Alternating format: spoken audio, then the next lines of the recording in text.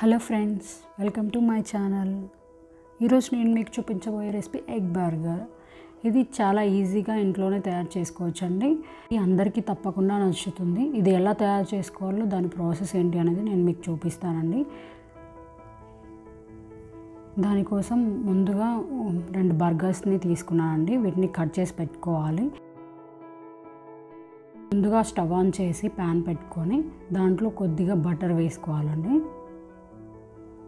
ఆ బటర్ వేడయ్యే వరకు కొంచెం వెయిట్ చేయాలి.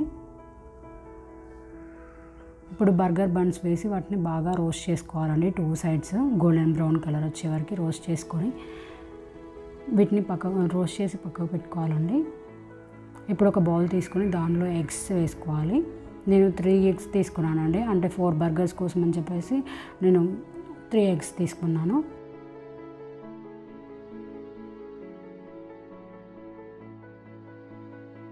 కట్ చేసిన టమాటా ఒకటి కట్ చేసిన పచ్చిమిర్చి రెండు కట్ చేసిన ఆనియన్ ఒకటి కట్ చేసిన క్యాప్సికమ్ ఒకటి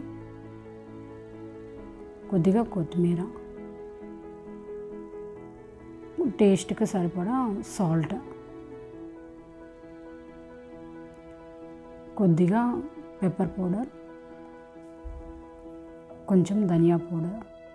అన్నీ వేసాక ఒక స్పూన్ తీసుకొని బాగా మిక్స్ చేసుకుంటూ ఉండాలి. ఈ ఎగ్ అండ్ వెజిటబుల్స్ బాగా మిక్స్ అవ్వాలి. అప్పుడే మనకు ఆమ్లెట్ చాలా టేస్టీగా వస్తుంది.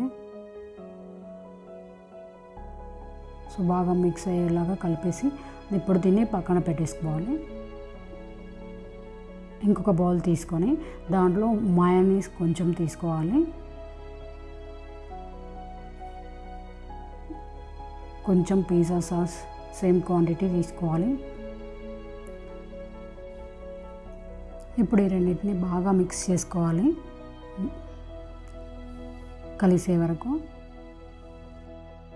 చూడండి బాగా కలిసిపోయింది. ఇప్పుడు మనకు బర్గర్ సాస్ రెడీ అయిపోయిందండి.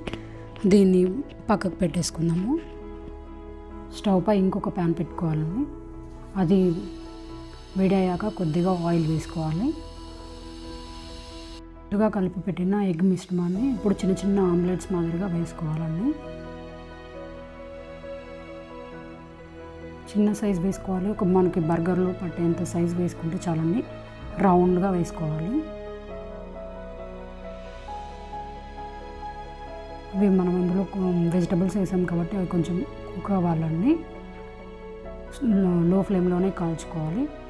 దీన్ని టర్న్ చేసుకొని టూ సైడ్స్ బాగా గోల్డెన్ బ్రౌన్ కలర్ వచ్చేలాగా కాల్చుకోవాలి. ఇప్పుడు దీన్ని తీసి పక్కకు పెట్టుకుందామండి. నెక్స్ట్ ముందుగా రెడీ చేసి పెట్టుకున్న బన్స్ తీసుకొని వాటికి మనం తయారు చేసుకున్న బర్గర్ సాస్ని అప్లై చేసుకోవాలి. వాటికి మొత్తం స్ప్రెడ్ అయ్యేలాగా ఈవెన్గా అప్లై చేసుకోవాలి అండి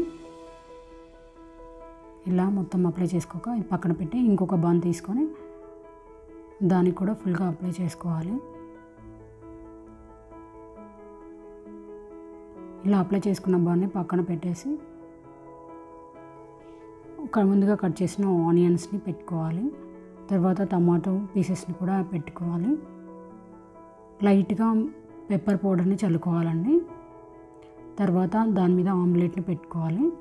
తర్వాత మళ్ళీ ఆనియన్స్ అండ్ టమాటోస్ కూడా యాడ్ చేయాలి. మళ్ళీ లైట్గా కొంచెం పెప్పర్ని వేసుకోవాలి. అండ్ లైట్గా సాల్ట్ కూడా కావాలంటే వేసుకోవచ్చు. టేస్ట్ కోసం టమాటో సాస్ కూడా వేసానండి నేను. ఇది సాస్ వేసుకుంటే చాలా బాగుంటుంది. ఇందులో నేను చీజ్ యూస్ చేయలేదండి. చీజ్ లేకుండానే ఇది చాలా బాగుంటుంది ఈ బర్గర్. చీజ్ లేకుండానే చేశాను ఇది. ఇప్పుడు పైన బన్ పెట్టి క్లోజ్ చేసుకొని పిక్ తీసుకొని దాంతో లాక్ చేసుకోవాలండి.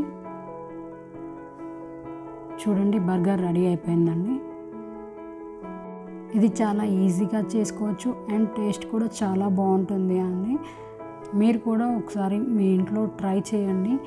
ట్రై చేసి ఎలా వచ్చిందో నాకు కామెంట్ చేసి చెప్పండి. మీకు కనుక ఈ వీడియో నచ్చినట్లయితే లైక్ చేయండి షేర్ చేయండి. Don't forget to subscribe my channel thank you for watching